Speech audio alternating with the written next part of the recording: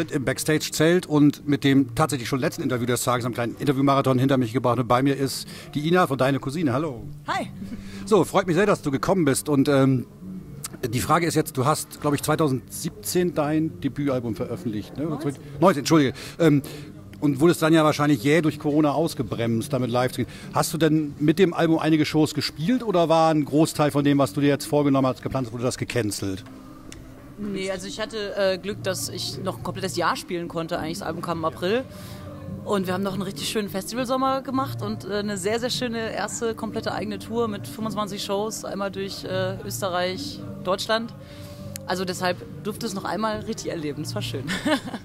Hatte ich das denn jetzt, äh, in was, also diese ganze Corona-Krams, hatte ich das denn jetzt sehr ausgebremst, was neue Ideen angeht oder neue Songs oder hast du für dich selber weitergearbeitet dran? Warst du produktiv in der Zeit? Ja, also ich habe natürlich äh, super viel weitergearbeitet und so, aber es äh, beeinflusst natürlich die Songs, die entstehen. Also es sind jetzt nicht die Party, Kracher, Juhu, Leben ist geil Songs gewesen, die in der Zeit entstanden sind. Da gab es eigentlich schon vorher ein paar fürs zweite Album, die ich geschrieben habe und so langsam geht es auch wieder los, dass, man, dass ich auch solche Ideen wieder habe. Aber natürlich war das in der Zeit erstmal alles ein bisschen ähm, nachdenklicher, schwerer vielleicht, weiß ich nicht, aber so andere Themen auf jeden Fall. Aber ich habe die Zeit super viel genutzt, um mich selber so fortzubilden. Also ich habe wieder Klavierunterricht genommen und irgendwie Instrumente geübt, was ich wahrscheinlich sonst in der Form nie gemacht hätte. Also schon die Zeit sinnvoll genutzt. Ja, voll. Doch. Ähm, so, was ich fragen wollte. Ähm, jetzt, ähm, ich habe mir mal so ein bisschen durch dein Övre gehört und äh, wie viel Runaway Girl ist in dir selber drin? Das würde mich mal interessieren, weil du ja an deiner Geschichte, ja, du hast ja einen relativ normalen bürgerlichen Job äh, mal irgendwann gelernt und hast dich aber, irgendwann entschieden, das eben nicht mehr zu machen. Ne? Und Ja. wie viel Runaway Girl steckt in Ina? Na, im Prinzip ist das ein bisschen der Song, äh, wie ich mir gewünscht hätte, dass es gelaufen wäre vielleicht. Dass ich mich früher entschieden hätte, äh, diesen Weg zu gehen. Also die orangen Doc Martens, die gab's so. Und, äh, da steckt schon sehr viel drin. Äh, Also natürlich ist es ein bisschen eine Adaption meiner Geschichte, aber bin jetzt nicht von 15 in Nacht und Nebel von zu Hause abgehauen. Aber vielleicht ist es ein bisschen manchmal der Wunsch, dass es so gelaufen wäre. Auf der anderen Seite ist man ja immer nur der Mensch. All der Resultate von dem, was man so erlebt hat und äh, mein ganzer Exkurs in die normale Arbeitswelt hat mir auf jeden Fall auch positive Seiten mitgebracht und so. Und deshalb, vielleicht sollte das so sein, dass ich erst so spät anfange, Musik hauptberuflich zu machen.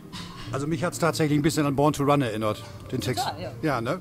Also, Also das war auch ein bisschen die Idee, ne? Es sollte eine Mischung aus äh, hier äh, She's a Runaway, äh, Ooh, she's a little runaway und natürlich die Nummer, wo diese eine Zeile draus adaptiert ist. Die- Living in a lonely es ist äh, Journey, äh, Genau. Don't Stop Believing, genau. Genau, das war so, als ich angefangen habe, diesen Song zu schreiben, habe ich irgendwann zu dem äh, Typ, mit dem ich das geschrieben habe, hab ich, wir haben irgendwie ewig an dem Chorus gehangen und irgendwann lag ich morgens im Bett so mit meinem Laptop und hatte irgendwie Logic auf, so ein Musikbearbeitungsprogramm und habe dann so irgendwie mit der Tastatur so ein paar Klavierakkorde gespielt und habe gesagt, dann so eine Sprachnachricht aufgenommen und gesagt, ey, eigentlich müsste es doch, eigentlich ist es doch genau die Mischung aus diesen beiden Songs, eigentlich ist es doch das She's a runaway, runaway girl, living in a lonely world.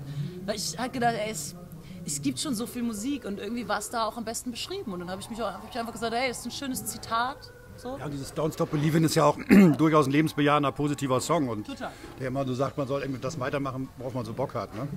Ähm, wie ist es denn damals zu der Zusammenarbeit mit Lindenberg gekommen? Magst du da mal was zu sagen? Wie, ähm, du hast ja, glaube ich, bei dem Unplugged-Album äh, Background gesungen, hast auch ein Duett mit, mit Udo gesungen. Ne? Wie, wie bist du in diesen Dunstkreis geraten? Würde mich mal interessieren. Also ich habe einfach, ähm, ich habe eine Freundin gehabt, die äh, bei Udo schon lange in der Band gespielt hat. Und der habe ich immer meine Songs gezeigt, die ich gerade so geschrieben habe und so. Das war 2013, glaube ich, wo ich das so alles so gezeigt habe. Und da war ich noch so auf der Suche und habe ewig viel geschrieben. Und irgendwann hat sie einen Song gehört und meinte, hey, Ina, den Song, den du gestern rausgebracht hast, ich glaube, der könnte Udo total gefallen und der hat so einen Förderpreis. Schick das da mal hin, bewerb dich da mal. Und da habe ich es gemacht und sie hatte recht und äh, Udo war so totaler Fan von diesem Lied und äh, darüber haben wir uns kennengelernt und dann sind wir Freunde geworden. Und irgendwann ist äh, eine Sängerin bei ihm schwanger geworden, konnte nicht mehr mit auf die Tour und dann war es so, ja, okay, dann kommt Ina halt mit. Das ist eigentlich die ganze Geschichte und ich bin sehr, sehr froh, dass ich das erleben darf, weil das ist natürlich ein unfassbar motiva äh, unfassbarer Motivator. Du stehst auf so einer Bühne vor 16.000 Leuten in so einer Arena und denkst, ja, will ich auch. Aber heute Abend stehst du erstmal hier vor, naja, ich schätze mal so 2000 Leuten, Nute Rock. Ähm, genau, das ist eine Frage, die ich, die ich vielen Künstlern stelle, die auch große Festivals oder größere Audiences gespielt haben. Ist es für dich einfacher in einem kleinen Club oder ist es einfacher im Festival oder gehst du anders an so ein Konzert wie heute ran, wo ja die Leute äh, nicht nur wegen dir so hier sind, sondern wo du halt in so einem Gesamtpaket bist? Gehst mhm. du da irgendwie anders ran? So also ich bin einfach noch aufgeregter als sonst sowieso schon. Ja. Also ich bin eh... Äh, meine Band kennt es schon, ich bin eh ein sehr aufgeregter Mensch. Das ist dann meistens weg nach den ersten zwei Songs, aber vorher bin ich auf jeden Fall ziemlich angespannt und aufgeregt.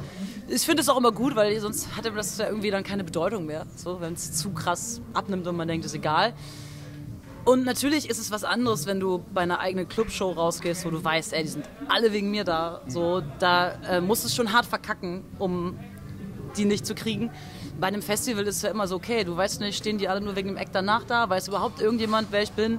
Klar musst du die anders kriegen, aber ich empfinde das auch immer ein bisschen als Herausforderung. So, ja. Ich habe äh, lange Covermusik gemacht und ich dachte immer, ey, wenn die Leute keinen Spaß haben, dann liegt es an mir und nicht an den Leuten. Weil wenn die sich heute Abend entschieden haben, hier nur so oh, hinzugehen und eigentlich wollten sie auf dem Sofa liegen bleiben und ich dann aber schaffe, dass sie halt richtig Bock auf den Abend haben, dann habe ich einen guten Job gemacht und am Ende des Tages ist es auch irgendwie dann unser Job.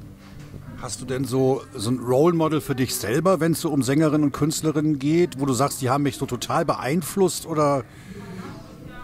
Nee, also mit Vorbildern habe ich sowieso mein Problem, so, weil da, also man soll ja sein eigenes Ding finden. Natürlich habe ich Leute, die mich früher beeinflusst haben, die ich viel gehört habe und so. Aber es ist zum Beispiel so, dass ich die da jetzt heute auch nicht mehr höre. Also, weil es war für die Zeit cool und es war in der Zeit, hat mir das viel gegeben. Und ich höre jetzt komplett andere Sachen als äh, früher. Und meine Musik ist natürlich so eine Mischung aus dem, was ich viel früher gehört habe. Darf ich kurz fragen, was das ist? Also sehr beeinflusst hat mich, das habe ich auch schon ein paar Interviews gesagt, hat mich früher Anouk, weil ich es einfach so mit 15, 16 bis, bis 19 wahrscheinlich, hat die mir aus der Seele gesprochen. Und es gab auch nicht so viele Frauen im Rockbereich, die ich echt cool fand. Äh, dann war ich aber ein bisschen enttäuscht, als ich sie mal live gesehen habe und war so, oh Gott, oh Gott. nee, aber ähm, ja, das hat mich total beeinflusst. Und natürlich das ganze Nirvana, Foo Fighters, alles. Wir haben das ja alles, was zu der Zeit irgendwie da auch rauskam. Chili Peppers war irgendwie geil, aber ich habe auch super viel Soul-Musik gehört und ich mag eigentlich fast alle Musik mittlerweile. Aber ich habe einfach gemerkt, dass die Platten, die ich oft früher total geil fand, dass ich die heute, das ist so ein bisschen auserzählt für mich. Ich kenne das selber. Es gibt so ganz wenige Bands, die bleiben dann hängen, so ja. bei, bei einem selber. Die hört man halt immer noch, die findet man immer noch geil, aber manches, was man so früher gehört hat, denkt man sich heute so, hm, Klar, die Frage ist ja auch einfach so, interessiert man sich noch für neue Sachen? Und ich glaube, ich bin viel zu hungrig nach neuen Sachen, äh, um mich ständig nur an dem Alten festzuhalten. Das ist bei mir durch meine Kinder. Wenn ich meine Kinder nicht hätte, hätte ich nie Billie Eilish schätzen gelernt zum Beispiel. Ne?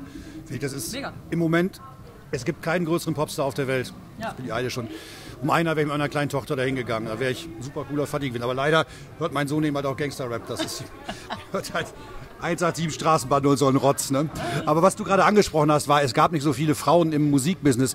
Findest du, dass es generell ein Problem ist? Weil wir haben diese Diskussion ja auch immer wieder, wenn wir das Booking hier machen für Festivals, dass uns ja teilweise auch ähm, Verbände anschreiben und sagen, euer Festival ist nicht divers genug. Mhm. Äh, kannst du für, für dich, weil du ja diese quasi diese Nische, wenn sie denn, weil sie ist ja leider immer noch eine Nische, füllst, kannst du sagen, kannst du das analysieren, woran das liegen könnte?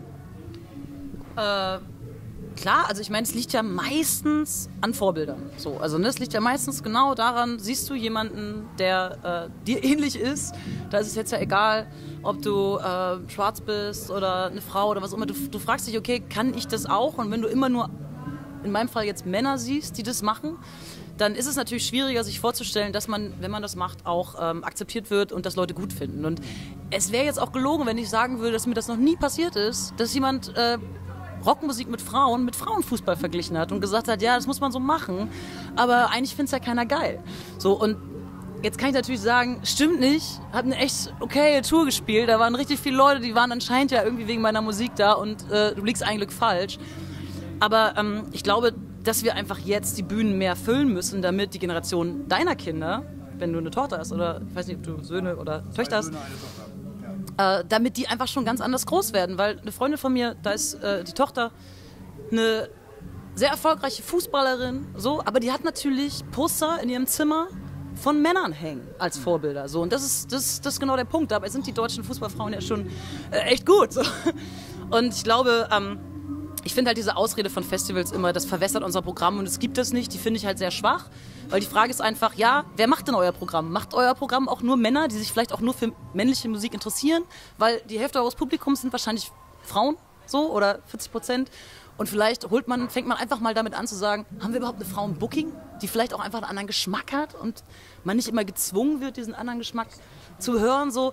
Also ich finde, es geht mit solchen Sachen los. Und also wo, wo schaffen wir Anreize, will ich jetzt nicht sagen, aber wo schaffen wir Vorbilder und wo überdenken wir auch unser System so ein bisschen. Weil ich habe einen Männerberuf gelernt so, und da gab es 100 Auszubildende und vier Frauen. Äh, ich war definitiv, glaube ich, eine Quotenfrau, aber jetzt sind da halt nicht mehr nur vier. Jetzt gibt es da halt schon irgendwie 15, 20 so. Und es ist halt immer die Vorbildfunktion. Man kennt jemanden, der es schon kann. Ich habe nie in Frage gestellt, dass ich Handwerkern kann, weil ich das als Kind immer zu Hause gemacht habe. Aber nur weil keiner in meiner Familie das in Frage gestellt hat. Ich habe es ja ähnlich. Ich habe einen Frauenberuf als zweites gelernt, wo ich äh, äh, mit drei Männern in meiner Ausbildungsklasse war und der Rest waren Frauen. Ja. Auch das ist nicht ganz einfach, wenn ich das an dieser Stelle mal sage hast mit denselben Vorurteilen zu kämpfen wie andersrum. Das sind immer noch so tradierte Rollenklischees, mit denen ja. du zu tun hast und so weiter, ja. Und äh, ich würde an dieser Stelle erstmal sagen, vielen Dank für die vielen netten. Ich finde es auch gut, dass ich das Mikrofon jetzt so hingehalten habe. Was halten Sie von diesem Thema? Ja, sehr schön.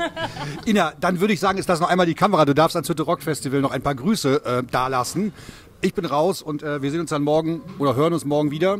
Okay, Ina, bitteschön. Ey, Hütrock, mega geil, dass ihr auch in diesen Zeiten irgendwie durchzieht. Und äh, ich glaube, das ist meine erste Show seit zwei Jahren, wo die Menschen sich frei bewegen dürfen und nicht an irgendwelche Bierbänke gefesselt sind. Geil, dass ihr da seid, passt aufeinander auf und äh, viel Spaß bei der Show.